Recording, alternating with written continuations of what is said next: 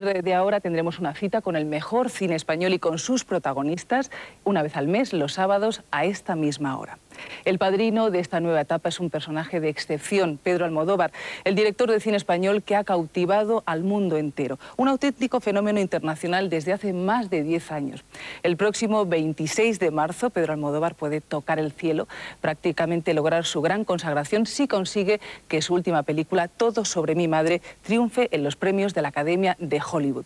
Y a solo 15 días de ese acontecimiento, Pedro Almodóvar está aquí con nosotros para hablarnos de su vida, de su gente, de su cine y también para escuchar los testimonios de un montón de actores, de actrices, de muchas personas que han tenido vinculación con él y que nos van a ofrecer una imagen mucho más interesante, impactante de él como personaje.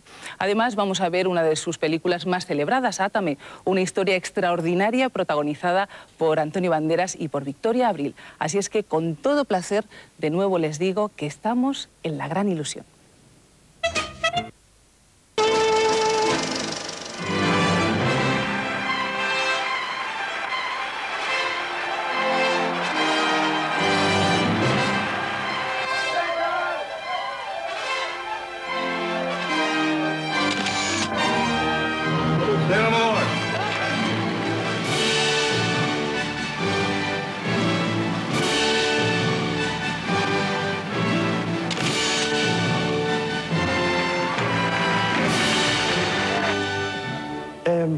Well, you know, I didn't prepare anything and I don't speak English, so it doesn't matter. Pedro Almodóvar,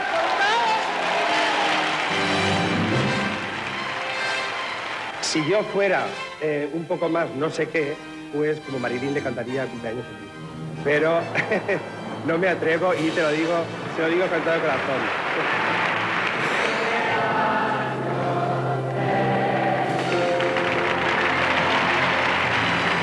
Donde quiera que esté, este premio es para ella.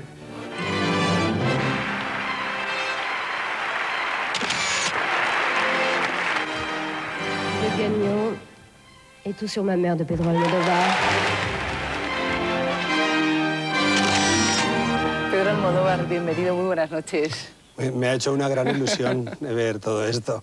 De eso se trata, de, que vivamos grandes ilusiones esta noche, Pedro, porque estábamos eh, presenciando ahí la imagen de un éxito impresionante de estos momentos. Estamos a 15 días de los Oscar. Han pasado muchos más premios, porque ahí hemos recogido tan solo unos pocos, pero ¿te da la sensación, Pedro, de que estás viviendo el momento mejor de tu vida profesionalmente? Pues mira, me da la sensación, viendo los vídeos esos, que estoy viviendo un momento de mi vida en que consiste en hacer pesas, pero con premios. Porque además hay, veces que han venido a pares y tengo que estar... Pues evidentemente, yo creo, no, evidente, ninguna película mía ha tenido tantos premios en cantidad y tantos también en calidad como todo sobre mi madre. Ahora mismo estoy demasiado dentro y lo único que te puedo decir es que me hace una gran ilusión estar contigo y una gran ilusión ver todos estos vídeos. Además, Pedro, que yo creo que a todos nos hace también una gran ilusión que te den el Oscar. Y hay como una sensación general muy positiva, con muchas ganas. Yo creo que este país entero está en estos momentos Hay muchas velas encendidas. Hay ¿eh? muchas, muchas, muchas. Pero fíjate que hemos recogido algunos testimonios de algunas personas que conocen y fíjate ellos lo que piensan que va a pasar. A ver. Hace 17 años hice este mismo trayecto. La sensación, sí, pero que no se lancen las campanas al vuelo antes de tiempo, porque Hollywood también es muy dado a dar sorpresas. Y el año que nosotros estábamos nominados por Mujeres al borde de un ataque de nervios, nos daban todas las revistas como ganadores. Todas, en todas las quinielas que se habían hecho en Hollywood. Eh, premios de la crítica, premios de tal, premios... Todo conducía ahí y nos quedamos con una cara de tontos que para qué pero es como que tiene una enorme corriente a favor, porque esta película yo creo que, ha conectado con, todo tipo de gentes, de todo tipo de lugares, y eso hace que sea, yo creo, el momento en que, el Oscar pueda, pueda llegar a sus manos.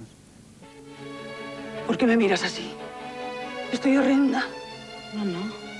Estás más guapa que nunca. Yo estoy segurísimo, quiero decir, eh, vamos, no es que esté seguro, sino que deseo que a Pedro Almodóvar le den un Oscar. Aparte de por Pedro, que creo que es una persona que no es que sea merecedora de un Oscar, sino que es que además le queda bien. Y si le dan el Oscar, ahí ya se cogerá una buena borrachera y un buen desparrame.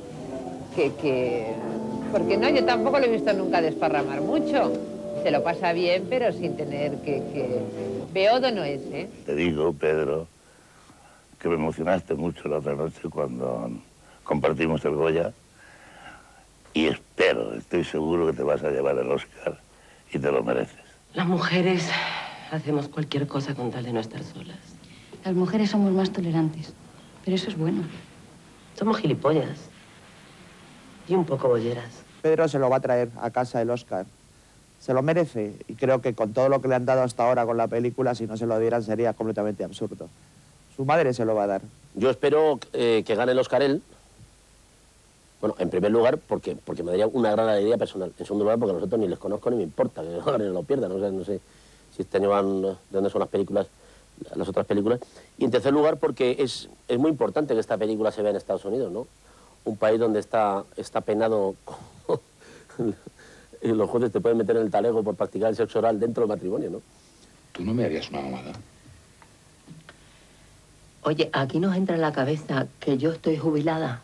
Le diría que no se, que no se maquillara mucho, que, que fuera muy natural, con- solamente con un poquito de brillo en el, en el labio, un poquito de rouge en el ojo y nada más. O sea, súper natural looking. Y eso sí, como una monja, sin ningún vicio. Buena, buena, buena.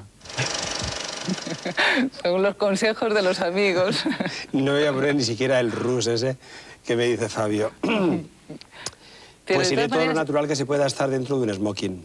Claro, que eh, bueno, no es mucho, pero, pero sienta bien de todas maneras, Pedro. Ya te estás Al- acostumbrando al A los smoking. chicos nos sienta muy bien, la verdad. Sí. Y, y a las chicas, Marlene Dietrich demostró que también. Lo que pasa es que necesitáis más actitud. Claro. Y Pedro, ¿te has preparado ya el discurso? Confiésalo, porque siempre se lleva algo preparado en esos casos, ¿no? No, este no. eh, Además, Sí. hace todavía, no sé cuántos días faltan, pero faltan muchos días. Entonces no le tengo miedo al escenario y todavía no me he quedado nunca en blanco. Pero, mm, pero es tal excitación que yo lo que sí temo, y estuve a punto en los Golden Globe, es de pasarte. Quiero decir, está tan excitado que no te desnudas de puritito milagro y te entregas y te lanzas allí, te lanzas allí a las masas.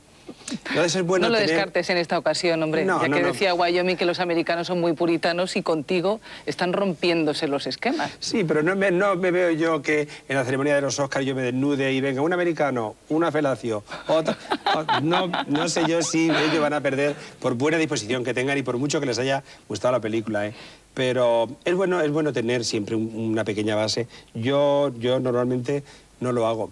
Porque además resulta difícil, o sea, ¿cómo haces? Mm, eh, dime tú, o Conchita, Venga. estás en, en tu habitación y entonces dices, me, me acaban de dar un Oscar. Y tú te miras al espejo como un gilipollas, porque en el fondo de ti tú sabes que no te han dado todavía ningún Oscar, que estás poniéndote la ropa, me han dado un Oscar. Y abajo tengo a todo Hollywood y les voy a decir eh, esto o lo otro. Es, te sientes un poco ridículo, porque dices, pero yo, pero si no me lo han dado, y a lo mejor no me lo van a dar, ¿qué hago yo aquí ensayando? ¿Cómo, ¿Cuál es mi pretensión de estar aquí frente al espejo ensayando? Como, porque hay, es verdad que ellos te dicen, ellos llegan a decirte cómo queda bien la estatuilla. Eh, ¿Ah, y sí? entonces, y dices, ya, ¿y cómo ensayo si no me dan usted una, una tatuilla para que vaya a mi casa? Y te lo dicen, con un cepillo de dientes. Entonces coges el cepillo de dientes y, lo, y la altura ideal es esta. A por aquí, más o menos. Eh, entonces, claro, entre cepillo de dientes, tú así, y diciendo muchas gracias al espejo, te sientes un poco ridículo. Entonces es difícil, para mí muy difícil de prepararlo. Lástima que no me haya traído esta noche el cepillo de dientes aquí para que fuéramos entrenándonos, Pedro. Sí. Pero fíjate que hemos eh, buscado una serie de, de personajes que te conocen y para arrancar me gustaría que escucharas esta definición de alguien que creo que ha sido importante en tu vida como actor. De alguna manera antes nos comentaba que no te fiaras, que no te confiaras demasiado para estos Oscars. Así que vamos a ver lo que si nos dice Antonio de ti. en todas las cosas que he dicho Sí, hasta ahora... ha sido muy cauto, Concha, sí que es verdad. Soy el Sí. único que dice, oye, que no, que Sí, no, que sí. no, que no, que no, que fuera euforia. Tienes El razón. único que ha dicho que el Oscar no me lo he llevado todavía soy yo. Entonces, y el único realmente que ha dicho que hay que actuar con más cautela es Antonio. Porque realmente a mí me da miedo, la gente lo da por descontado. Y no, no, no, no, es- no, es- no está por descontado, ojalá. Pues fíjate qué definición da Antonio de ti. Vamos a escucharlo. vamos allá. Yo creo que Pedro eh, es un, es un hombre que ha cambiado, que se ha desarrollado mucho también a través de los años, pero básicamente la idea que yo siempre tuve de Pedro era de aquel que era capaz de romper todas las estructuras que existían en aquel momento en un cine español eh, bastante de capa caída, eh, eh, muy repetitivo, con poquita calidad, de romperlo y de crear algo absolutamente nuevo que después ha abierto la puerta a muchos directores que han venido mostrando mucha más frescura de lo que había anteriormente. Yo creo que Pedro se carga de un zapatazo del 68 y la guerra civil. Y, con él entramos en la modernidad y en otro tipo de mundo, ¿no? Entonces eso habrá que agradecérselo siempre. Esa cosa de la movida que se hablaba, de que, que es la movida, la movida no, bueno, no es nada. La movida es un grupo de gente que después de de cinco años de la muerte de Franco que pasan en España, pues se tira a la calle a cargárselo todo, ¿no? Y de ahí quedaron los mejores. Yo creo que Pedro probablemente es el vértice de esa pirámide. Y bueno, y representa también la- el sueño de poder volver a trabajar con él algún día. Y ha habido ofertas, es cierto, eh, Pedro y yo nos hemos sentado y hemos leído algún guion. Desde entonces lo hemos leído en Los Ángeles. Ha habido un par de, momentos que parecía que podíamos, pero bien eh, a mí no me ha interesado demasiado el proyecto, el personaje específicamente, o él no ha podido esperar un determinado tiempo hasta que yo terminara una película. Siempre se han dado circunstancias así que no nos han permitido. A mí me, me encantaría, yo creo que estamos ahora en el momento de que quizás deberíamos de volver a trabajar juntos. A mí me encantaría, ¿no? Porque, porque son muchas cosas, son nueve años trabajando juntos, existe mucha amistad. Yo creo que también como actor he crecido un poquito desde aquellos tiempos. eh, yo creo que me, me disfrutaría más y, y yo creo que también lo disfrutaría él más. Qué ganas de encontraros otra vez juntos, ¿eh? Nosotros como espectadores, no Pues sé vosotros si también. lo tenéis cerca. No, yo también, eh, yo también, yo ya sabe, Antonio, que yo de ningún hombre he hablado como de él. Eh, y creo que de hecho es del único hombre que he hablado en mi vida. ¿Y eso por qué? Y- Hablando de todo, Pedro. Pues ¿No no hablas sé. nunca bien de los hombres? ¿Solo de las mujeres? Pues sí, del único hombre que he hablado bien y que he reconocido echarle de menos durante años y años y años. Y ha sido de Antonio. Entonces le eché de menos desde que se fue y ansío que, podamos volver a trabajar juntos. Pero también reconozco que Antonio está dentro de un proyecto grande, muy grande, que todavía no lo ha llevado a cabo eh, y que se desarrolla en Estados Unidos. Eh, o sea, para mí, por ejemplo, y que hay que dejarle que lo haga. Entonces, y yo como amigo además también no debo importunarle y decir, oye, Antonio, tienes que hacer esto, tienes que volver, tien-". No, yo creo que llegará un momento natural en el que todas las circunstancias sean favorables y que volveremos a trabajar y que yo creo que ese momento además se va acercando cada vez más. No sé si, si le pasará lo mismo a una mujer que ha trabajado mucho contigo y muy bien como Carmen Maura. Tú dijiste aquí para este programa, Pedro, que era la mejor actriz con la que habías trabajado. Hubo una ruptura después de Mujeres al borde de un ataque de nervios y a Carmen la hemos llamado para que te cuente cosas aquí y yo creo que es la primera vez que se expresa de esta manera. A ver qué te parece. nuestro se acabó te arrepentirás. Al primer Pedro Almodóvar le agradeceré siempre, siempre, siempre lo muchísimo que me hizo reír. O sea, yo creo que juntando ratos de risas y, y buenos, buenas ocurrencias es la persona que más me ha hecho reír en mi vida, incluyendo novios y todo. Los recuerdos son lo único que me queda. Nosotros siempre nos metía en la cabeza que había que aceptarse el cuerpo como era, ¿no? Y yo me acuerdo que tenía mucho complejo, pues te gordas, siempre tienes y tal. Y él mm, siempre me decía, pues mira, Marilyn tenía tripa y estaba estupenda. Y es que no, lo que tenéis, tenéis y en su sitio y tal. Qué historia tan demencial. Yo seguramente no me encuentro con Pedro Almodóvar y mi carrera hubiera ido más por la cosa mm, más así, mm, más seria a lo mejor. Me habrían llamado desde el principio per- mm, directores tipo Saura, sí que luego me llaman, pero después de que dejo al otro, ¿no? Pero de todas maneras no tengo la sensación de, de deberle nada, ¿eh? Pienso que ni yo le debo a él, ni él me debe a mí, ni nada. Pienso que fue un encuentro que nuestros ángeles de la guarda estuvieron divinos, porque realmente fue increíble que dos personas que venían de ambientes tan absolutamente distintos hicieran clic y, nos encontráramos en un mundo donde nos entendíamos tan, tan, tan bien. ¡Riégueme! No se corte. ¡Riégueme! En resumen, pues que a una persona con la que te han pasado tantas cosas como me han pasado con él, pues que le quiero mucho.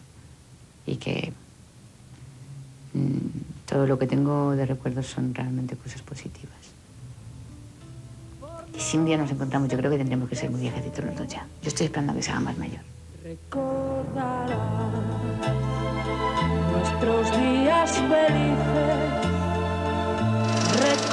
Hemos congelado ahí, Pedro, una mirada de Carmen tan estupenda cuando le das el beso justo ahí después de los, de los Goya?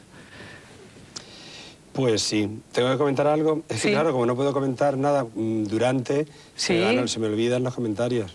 No. Eh, que, que- Te ha dicho que, se ha reído mucho contigo. Y ha dicho que no te debe nada. Ni tú a ella. Claro, sí, que eso, eso absolutamente. Eh, a mí no me gustan esos melodramatismos de le debo todo, todo lo... Quiero decir, sobre, sobre todo tratándose de directores y actores. Un actor es un milagro que te lo haga bien. Y, y para un actor es un milagro que un director conecte contigo, eh, pues como yo he conectado con Carmen o con Antonio, o con... Afortunadamente he tenido la suerte de que he conectado de ese modo profundo con varios. Eh, y yo nunca lo veo como una deuda eso.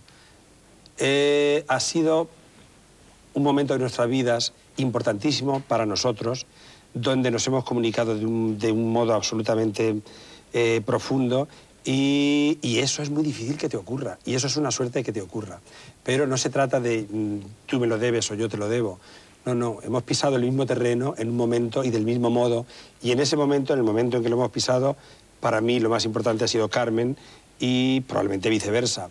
Eh, y eso siempre debe generar un recuerdo bueno porque estamos hablando de épocas maravillosas y de épocas extraordinarias y también de encuentros y entendimientos que no se, que no se llevan a cabo todos los días. Claro, que porque son- Pedro, tú parece que siempre eh, trasciendes un poco más la relación. Es decir, que no estableces, quizá el cine eh, lo facilite, pero en tu caso parece que es más acusado, que estableces un tipo de relación muy sentimental, muy profunda, con, eh, con algunos de, su- de- de tus actores y sobre todo de tus actrices.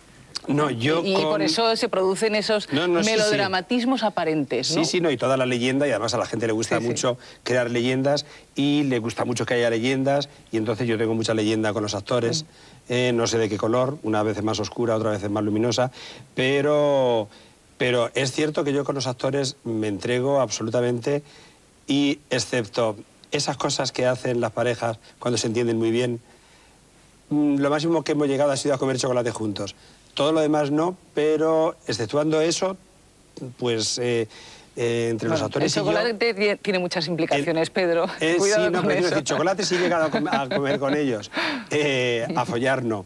Bueno, pues menos hacer el amor, eh, con mis actores mi relación eh, tiene de todo lo demás imaginable. Quiero decir, es una relación absolutamente apasionada. Y apasionada en la que tampoco se, mm, se evita la sensualidad. Quiero decirte, no es que los sentidos estén... No, no, los sentidos están, los ojos, el tacto, el gusto. Eh, eh, no llegamos a consumar ese matrimonio, pero con- en muchas ocasiones realmente es una relación como de amantes. Y entonces esa intensidad sí que después crea problema en la vida diaria, porque cuando compartes algo en común, una aventura tan específica eh, que es hacer una película, pues bueno, pues es la- esa pasión se desarrolla a través de la película y del rodaje. Pero cuando terminas, pues bueno, ya no todo es igual. Y sobre todo cuando empiezan, cuando, cuando, cuando tú en- entablas otra relación igualmente apasionada en otro rodaje ya con otra persona, me nos complicamos la vida. Pero Pues- bueno, pero eso Pues tienes relaciones tan, tan eh, sui generis con algunas tus- de tus actrices, que alguna nos ha contado alguna muy importante, que hasta habéis tenido una especie de relación esotérica, al menos ella. Fíjate, Penélope ¿Ah, sí? Cruz, lo que nos contó aquí Pedro. Con Pedro, por ejemplo, me, han pasado cosas rarísimas. Yo sabía que nos íbamos a conocer, sabía que íbamos a trabajar. Le conozco ya de otro sitio no sé de dónde, pero sé que le conozco. Y es algo que yo sé que suena raro cuando lo dices, pero es la verdad, es lo que siento cuando, pues después de haber visto Átame, yo esta- estaba muy obsesionada con esa película. Bueno, me gustaba mucho todo lo que había hecho, pero muy obsesionada también con la idea de conocerle y trabajar con él. Y, y más de una vez entré en un cine o en un bar. Está aquí y no le había visto. Sabía que estaba en el, en el bar. Bueno, concretamente fue un día en un cine, en Los Ideal. Que estaba tan segura de que estaba y nadie me había dicho nada que empecé a buscarle en la sala. No, si lo tengo tan claro, seguramente que no estará. Vi la película, cuando terminó, me levanté, salí de la sala y me cruzó por delante. Estaba y estaba. Y me pasó, me pasó muchas veces con él. ¿Qué cosas te pasan con tus actrices? Sí, que con las cosas les pasan a ellas Sí. también. Sí, pues esto mm, Penélope me lo había comentado. Ujú. Penélope, ahora has estado con ella, es eh, Penélope y Antonio, me imagino que sigues teniendo mucha vinculación con ellos. ¿Tú crees que va a pasar con Penélope lo que ha pasado, lo que está pasando con Antonio Banderas? ¿Qué, se- qué palpito te da? Pues es que está pasándole ya, ¿sabes? Lo que pasa es que, a- eh, al contrario que Antonio, Penélope tiene su carrera encauzada de otro modo. Entonces, yo no creo que Penélope deje nunca de venir a trabajar. Eh, aquí a España tendrá que organizarse bien, pero en este momento mm, te diría que es de las chicas jóvenes que están en Hollywood absolutamente la más solicitada. ¿eh? No, en- eh, cuando estábamos allí, bueno, hace un mes, Penélope estaba en la portada de GQ, el de la, de la versión americana, eh, y entonces el, el gran titular ponía Cruise Control y después ponía Jennifer López, Watch Your Back, que es como Jennifer López, mira quién viene, a, a quién viene por aquí y ten cuidado. Eh, o sea que ya, ya, de hecho, los medios la ponen como la gran latina de este momento. Pero sabes que nosotros te hemos preparado una pequeña encerrona y hemos repasado, eh, bueno, algunos aspectos de tu vida. Después de la película los vamos a ver. Pero antes eh, queremos hacer un pequeño resumen, solamente algunos, buscar, resaltar algunos testimonios que después vamos a ampliar. ¿Te parece que lo veamos?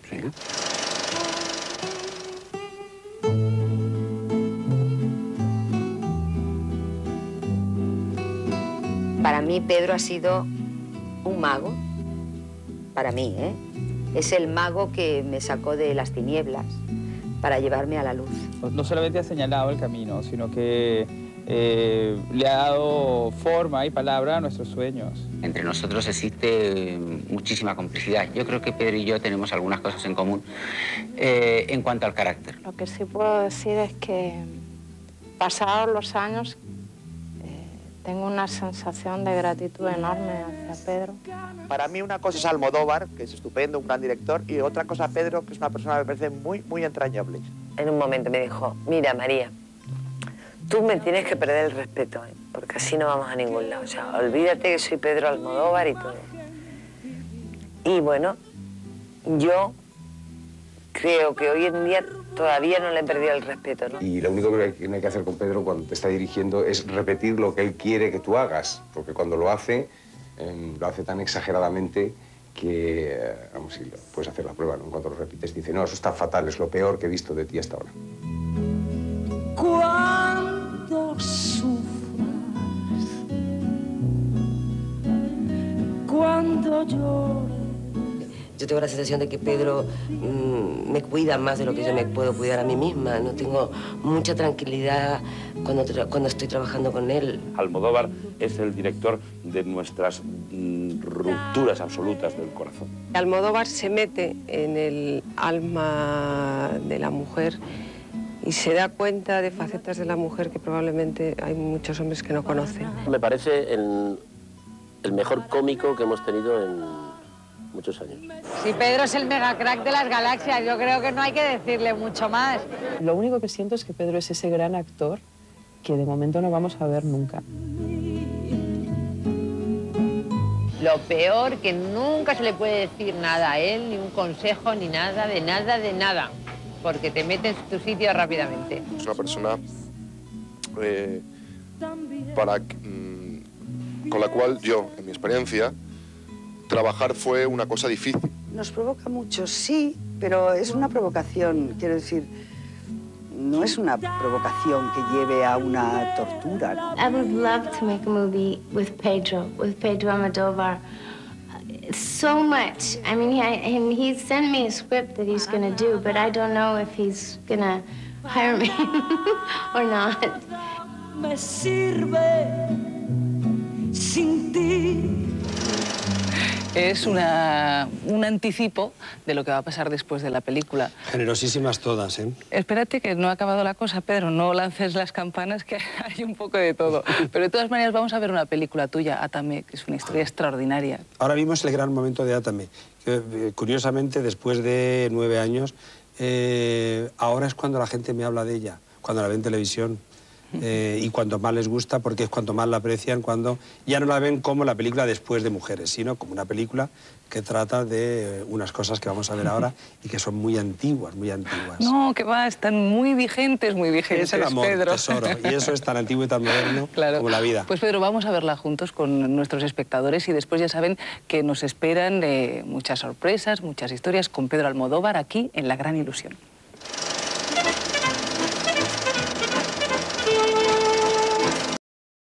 Parece que sea difícil que tú ya puedas ir por la calle o puedas meterte en algo y rescatar esas historias. O es que ya, ya lo tienes ya todo dentro. No, no, no, no, no en absoluto, no, no, no, y además... O sea, que yo pueden me- pensar que vives en una torre de marfil, que podría no pasar. Puedes, no puedes vivir en una torre de marfil si te dedicas a contar historias y si pretendes que esas historias tengan cierto tufo de realidad.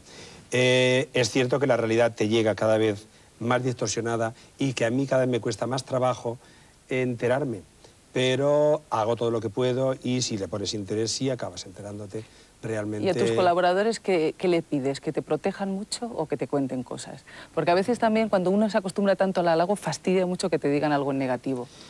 Pero yo no, yo no ¿no? recibo halagos, ¿eh? quiero decir, recibo halagos Sí. en tu programa porque es una especie de condensación que cristaliza en, como son tan pocas palabras las que pueden decir cada uno, en, en algo agradable, pero cuando estás trabajando no es todo el tiempo, el qué bien, qué guapa, que no sé qué. Quiero decir, cuando estás trabajando vas, a que, no sé, yo me veo así y tratando de solucionar problemas concretos, los actores igual, los técnicos igual, y, la felicidad, si se ha hecho bien, se vive de otro modo, pero no en forma de halago.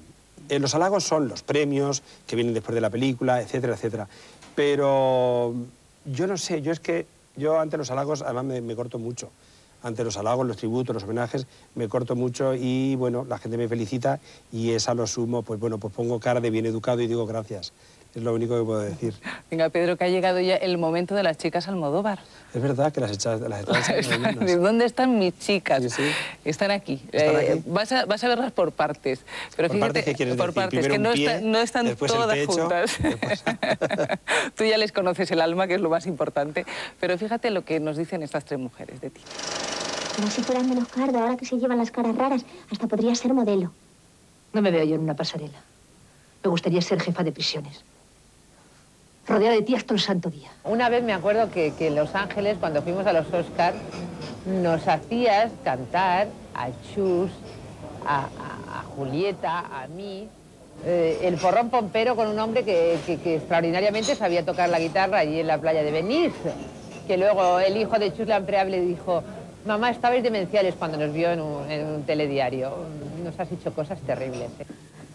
Ay, Carlos, Carlos, por Dios, con el cuadro que hay enfrente, la policía, tu madre, tu novio. Había un decorado, ¿no? Que era la casa de Pepa y tal, y aquel decorado pues era sagrado, no, No se podía tomar el bocata, ni nada de nada. Y yo, como al principio no conocía a la gente, pues yo me fui allí a tomar el bocata y la Coca-Cola, ¿no?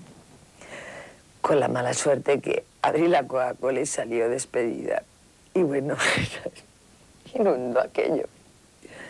Y yo miré para y para otro y dije, madre mía. Y como una zorra y una perra me callé. Y me escondí después la gente, ¿quién ha sido? ¿Quién ha manchado esto y tal? Y yo me callé tal, porque yo tenía miedo y dije, me echan del rodaje, ¿no? Pero recuerdo a Esther García diciendo, ¿pero quién ha hecho esto? Y, tal. y bueno, fui yo. Yo soy la responsable de todo esto. A mí también me gustaría llevarme muchas cosas y sin embargo no lo hago. Y yo no sé por qué, cuando vi a Almodóvar por primera vez, que yo le machaqué, que yo estaba en Barcelona, pero era todo el día que le llamaba, hola, que soy la no sé qué, no sé cuántos, le cantaba canciones, era muy pesada y todo eso, que él, claro, dijo, bueno, pues darle una entrevista a esta mujer, a ver si deja de llamar. Y entonces me dio la entrevista, yo me arreglé, yo me fui a la peluquería, me lo hicieron fatal, me quemaron el pelo, pero a pesar de eso fui. Pedí dinero para coger el talgo, porque no tenía ni un duro, pero... Y digo, bueno, ya lo, lo devolveré, no sé cómo, pero lo devolveré. Y me vestí fatal, con el peor vestido que tenía, de esos línea y bicenca, que me queda muy mal porque tengo mucha, mucho pecho. Entonces, claro, tan bajita, gorda como un cebollo, con las tetas bien altas, el, corte imperio, línea y bicenca, fatal, porque parecía porque estaba de ocho meses y no estaba. Y cuando el hombre pues me vio, me dijo, qué horror, qué, horrorosa, ¿qué quieres? No, pues trabajar contigo. Pero desde ese momento ya tuvimos una conexión, ¿no? una conexión de todo. Qué graciosa Loles. Bueno, todas, ¿no? Sí. ¿Cómo te han perseguido algunas, eh? No, ¿Es Loles verdad lo que lo más. eh, Lolas- Lo- Loles es un pésimo ejemplo que yo no quiero que nadie siga, porque yo creo que es de los escasos casos, valga la redundancia, donde la insistencia, eh, a base de insistencia, ha conseguido que le diera un papel. Porque normalmente a mí me agobia cuando insisten tanto. Pero Loles escribía cartas hasta presentarse ella. Eh, y yo no dudaba de su talento. Eh, y sin embargo, sí, hubo un papel para ella en Mujeres y después en Atame. Y o bien fue tan inmediato como Rosy, que trabajaba de camarera en el King Creole, un, bar que había en Malasaña, y me dijo, ay, me encantaría trabajar contigo. Y yo empezaba a rodar esa semana la ley, la ley, eh, la ley del deseo, y bueno, había una cosa mínima de una, de una chica que presentaba un programa que le hacía una entrevista a Eusebio Poncela y tenía que hacer hola, no sé qué. Y dije, pues mira, pues vente tal día y vino y me hizo tanta gracia que en vez de una frase le puse seis o siete eh, abusando de su perfil y, y, bueno, y quedó maravillosa. Mm. Bueno, y además María Barranco, fíjate que ha confesado que fue ella, verdad, después, años, años años después. Años después, pobrecita. Y ahora- ¿Cómo ha debido sufrir durante Hombre, todo este tiempo? Y ahora una, una mujer que conoces muy bien y yo creo que la conoces además eh, muy personalmente y en algunos momentos eh, puntuales de su vida. Mira lo que nos cuenta Viviana Fernández. Vivi Anderson. Soy el pecado que te dio nueva ilusión en el amor. Soy lo prohibido. Yo creo que yo soy una mujer que vive un poco como las heroínas que él escribe. Lo que pasa que después en la vida cotidiana él es un hombre muy recatado, muy disciplinado y, yo no. Yo vivo un poco mm, a ese límite en el cual pues procuro entender la vida en función del gozo, del placer. ¿Cómo te llamas? Liliput. Puta. Puta no. Put. Put. Yo después de una separación, un día Pedro me estaba esperando en el Círculo de Bellas Artes con una bufanda puesta en la cabeza. Estaba chispeando y él estaba escribiendo, yo creo que era La flor de mi secreto. Y yo le pedí un favor. Él ya estaba metido en la cama. Y salió de la cama y me estuvo esperando un rato porque yo me retrasé. Me retrasé por problemas que no puedo contar. Ya sé que esto va a resultar una anécdota muy misteriosa. Pero cuando al día siguiente le llamé por teléfono, le dije que de esa noche siempre recordaría esa imagen de un hombre como él, tan importante, de un amigo al que yo quiero tanto, con una bufanda, bajo la lluvia, esperándome para acompañarme a una situación que yo podía haber resuelto perfectamente por mí misma y en cambio él fue capaz de estar ahí. Estar ahí como, como un buen amigo. ¿Lo recuerdas tú, Pedro? Sí, sí, me acuerdo exactamente la anécdota. y bueno, con quien iba a reunirse no lo ha dicho ella, no lo puedo decir yo, no lo debo decir yo. No, no, no tiene tanto valor eso. Es verdad que estaba acostado y dije, no, no, si tú quieres, para no entrar sola eh, y para mm, hacer todo lo que quieres hacer, no, yo me levanto, en efecto, me, levanto, no tardo, no, tengo, no tardo tanto tiempo como ella, como ella. Eh, me levanto y te espero y, verdad, la esperé y estaba lloviendo casualmente. Y bueno, hice la introducción que me pedía y después salieron las cosas como ella quería. Vaya, menos mal, al menos fue, dio resultado. Y, y la amistad para ti, Pedro, para todos supongo que es importante, pero yo no sé a ti en estos momentos si tienes muchos amigos, si no, si, si eso Hombre, para tu amistad, vida es algo... Para mí, en este momento, la amistad es, yo creo que lo, más, lo que más valor tiene. Eh, y es probablemente lo más difícil para mí de adquirir también. Eh, afortunadamente tengo, tengo mi hermano, porque la fraternidad también es un, sentimiento muy fuerte, y dos hermanas, que participa de los dos grandes sentimientos, que son las dos columnas en las que se basa nuestra vida, que es el amor y la amistad. Yo creo que la fraternidad comparte ambas cosas. Y en ese sentido, con mi hermano y con mis hermanas, eh, lo tengo cubierto, pero la amis- amistad eh, me cuesta, primeramente yo no soy una persona que se entrega de inmediato. Eh, quiero decir, cuando acudo esa noche porque me llama Vivi, no, no la he conocido la noche antes. Me- es, es- es un plato que para mí necesita una cocción lenta, larga, segura y eh, que no son, que la amistad no es una cosa a primera vista. Pero yo cultivo todo lo que puedo y estoy con los ojos eh, pendientes y cuando aparece alguien que yo creo que puede ser mi amigo o mi amiga, eh, hago todo lo posible por acercarme y por demostrar mi interés. Lo que ocurre es que mm, no es tan fácil y cada vez es menos fácil porque, o tal vez cada vez me, me impresionan menos las personas con las que me encuentro, o tal vez también mi situación de director de cine famoso enturbia y distorsiona un poco las manifestaciones que para otra persona serían claras y diáfanas. ¿Y, y el amor, Pedro? Porque eres muy discreto. No sabemos casi nada de ti en ese aspecto. Y así debe ser. Y va a seguir siéndolo. Pero estás bien, tienes, Así de- así estás muy ser. luminoso. No sé si es el éxito eh, profesional o también estás bien en todos los sentidos. Estoy bien en todos los sentidos. Es que yo no sé si el amor es exactamente lo que te hace estar bien en todos los sentidos. ¿eh? El amor muchas veces te, al contrario, eh, te desbarata.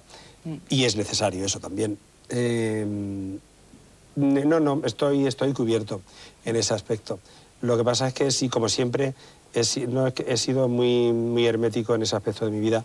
Pero no, no por hermetismo, sino tam- también porque, porque hay tantas cosas que se conocen de mí, de cualquier persona pública, que uno sí que necesita dejar dos o tres, por lo menos, para vivirlas en solitario o compartirlas con la persona eh, que tengas que compartirla, porque si no, de verdad, que no es cuestión de, ni de hermetismo ni de ocultar, si no te quedas absolutamente vacío. Y eso es horroroso. Entonces es por miedo a ese vacío. Pero vamos a por más actrices. Una actriz que desde Entre Tinieblas, si no me equivoco, de alguna manera habéis tenido alguna, alguna relación y yo creo que ha sido muy importante. Marisa Paredes. Yo recuerdo uno de los planos más complejos que yo he hecho con Pedro fue el famoso plano de la flor de mi secreto, de la entrada de- del personaje de Imanol cuando llegaba vestido de uniforme. Eh, Leo, el personaje mío, lo estaba esperando llena de pasión y de amor. Él llegaba, entraba y en una especie de, es- de- de espejos múltiples que había, espejos en, una, en una pared del hall del, del plató, teníamos como que quedar colocados de una manera que era llena de amor, pero al mismo tiempo perfectamente definida, la boca en este trocito de espejo, la nariz en este otro trocito de espejo, en definitiva, que no es tampoco ala, salga lo que salga, sino que tienes que tener un sentido de la medida muy determinado, ¿no? Para no, para no, para no fastidiar el plano. Mi trabajo con Pedro siempre ha sido un trabajo muy... Hombre, ha ido evolucionando como ha ido evolucionando él y como hemos ido evolucionando todos. Pero es siempre una búsqueda, de, te digo, de, de las emociones reales, ¿no? Y luego él siempre no se queda con una sola cosa. Siempre quiere, pues tienes rabia y además tienes un dolor inmenso y además tienes, eh, no sé, pues estás resfriada y además... O sea, trata de mezclar 45 cosas para que todo esté lleno. Marisa Paredes, también una actriz para ti. ¿Qué relación tienes con Marisa, Pedro? Eh, muy buena, porque además, como por otra parte las giras de promoción son tan largas, en es- eh, compartimos muchas cosas. Pues no, como cuenta Marisa, eh, Marisa es un ejemplo del tipo de actriz que me interesa y que yo necesito, en el que incluyo, yo creo que he tenido mucha suerte, ¿eh? hay muchas más, Eh, eh, que son, son, son mujeres capaces de, de- de- de- comunicarse con sus propias emociones de un modo fulminante, que para mí, digo, deben estar locas, para de pronto, en cuestiones de motor-acción, ponerse en ese banco de emoción que tienen y tirar de la adecuada. Entonces, quiero decir, es muy sincera, pero a la vez, por otra parte, tiene también una técnica elaboradísima para saber dónde tiene que estar, porque del, del momento que habla, yo quería, era, viene una pareja, viene su marido, ella, y se van a besar, pero yo nunca quería ver ese beso. Era una pareja fragmentada. Por eso puse tantos espejos, porque por una parte era un hall muy pequeño, ampliaba el hall, y por otra parte esa, pareja estaba, como los cubistas, troceada, pero nunca veías que se estaban besando. Y era una pareja ya hecha añicos. Y para eso yo no quería que se vieran determinadas cosas, entonces no podían moverse, etc. Pues Marisa es capaz de, de eso, de conectar inmediatamente con la emoción adecuada para el personaje y sacarla fuera. Y además también tiene la técnica para que la cabeza no se le mueva si no tiene que movérsele y que no se le note. Lo que es esencial es que no se le note. No, en este sentido, quiero decir, brillan a la misma altura. Carmen es igual de técnica y sincera. Eh, Victoria, absolutamente. Eh, yo yo es que creo que he tenido suerte de, de trabajar con maravillosos actores y después también con actores maravillosos que se han desarrollado muy bien también y a los cuales he podido acudir años después. Pues con todos, a todos o algunos vamos, vamos a verlos. Pedro, ahora eh, más actrices, porque había más, por supuesto. ¡Qué bien, qué bien, qué bien, qué bien! A mí Pedro me dio el papel de Bond porque tenía 15 años, porque la ropa que yo llevaba normalmente era perfecta para el personaje. Soy estiércol. Soy rata de callejón, olvidada. Perdida y, y soy víbora. Recuerdo también en, en Venecia, cuando fuimos en Entre Tinieblas, que, que ahí no nos conocía nadie. La película venía precedida de, de- de un cierto escándalo, evidentemente, pero los medios de comunicación se enamoraron. Decir, porque Pedro, entonces, si no existiera el cine, creo que, que andaría por ahí contando historias, ¿no? Por favor, llévenme al aeropuerto. No puedo, he quedado. He dicho que me lleve. La segunda vez que volvimos, en, en Mujeres al borde de un ataque de nervios, recuerdo que nos dijeron, "Mm, habéis pillado un mal día porque primero está Scorsese. Y era tal el gentío que recuerdo que a la rueda de prensa tuvimos que entrar por las cocinas de- de- del hotel. Espera, te voy a dar la dirección. ¿No quieres que te haga alguna cosita? Sí, hazme de mesa. La primera vez que trabajé con él, que fue en ¿Qué he hecho yo para merecer esto? Me mandó un cable a India para decirme que si yo quería hacer el papel. Y mira, te puedes imaginar la ilusión que me hizo, porque yo no me lo esperaba. Y tengo ese cable guardado, pues bueno, como oro en paño, porque era un cable muy largo, explicándome muchas cosas y diciéndome, bueno, era casi como, como una petición de matrimonio. Para mí fue como una petición de matrimonio. ¿Y tú por qué no te metes la lengua en el culo? A ver. Y me vais a perdonar, pero me voy porque no estoy para broncas, ¿eh? Que bastante tengo yo con lo que tengo. Espera, Glory, que yo me voy contigo. Y además me llevo el vestido. ¡Hala! ¡Aire! Me pasa por ser buena. Como yo hacía modista, tenía así como un alfiler aquí, como me lo sé, y decía una frase, eso me pasa por ser buena, terminaba ahí. Y bueno, se me ocurrió mm, mm, hacer es, bueno, una extraordinariedad eh, con el... con el- y Pedro ya había dicho corte, digo, ah, hubo así como una carcajada del equipo, de, "Ah, ¿qué ha hecho? No sé qué, y, y realmente lo volvió a, a rodar, pues, pues eso se le llama, mm, bueno, pues tener un- una visión, aprovecha todo, incluso, incluso aunque no lo haya visto en un principio, ¿no? Porque yo también canto y bailo y hago jazz, ballet moderno y full contact. El primer día que yo rodaba, rodaba la escena con Victoria Abril, que era justo cuando ella se declaraba culpable, que yo tenía que decir que la había matado. Entonces, en ese momento, cuando dijeron acción, tomé conciencia de dónde estaba y con quién estaba. Entonces, yo me empecé a marear muchísimo, a ponerme muy nerviosa. Entonces, yo digo, no corto aquí, por Dios, no corto en la vida.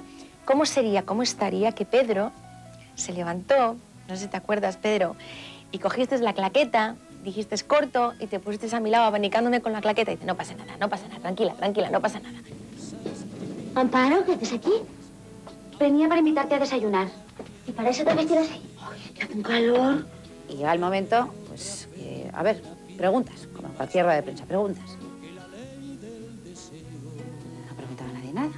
Eso también suele pasar. De repente Pedro empieza. ¿Sí? Ah, ah, bueno, ¿que ¿cuánto va a durar el rodaje? Bueno, pues yo espero que tal. Entonces, claro, nosotras nos mirábamos como diciendo, no sé, yo no he oído nada, ¿y tú? Otra pregunta, sí. Hasta que por fin nos dimos cuenta de que Pedro se estaba inventando todas las preguntas. O sea, como nadie le preguntaba ni decía nada, él mismo se estaba haciendo a sí mismo la rueda de prensa. Así que ya ven ustedes, señores telespectadores, como el genio creativo de Pedro Almodóvar no tiene límites. Venga, vamos, puja, puja, puja, puja, puja, puja, puja. Sigue, sigue, sigue. Cuando Pedro me llamó para hacer carne trémula y me entregó el guion, me citó en su casa, fui y me preguntó qué me había parecido. Le dije que estaba bien, pero que estaba mal escrito. Él se quedó muy asombrado y yo le expliqué que no se podía ocurrir el parto tal y como estaba escrito porque si no el niño se iba a desangrar, con lo cual me tumbé al suelo, le hice el parto y, y cambiamos la forma de actuar de esta, de esta mujer que ayuda en el parto. Y en la rueda de prensa dijo, eso nunca diré que lo ha escrito Pilar.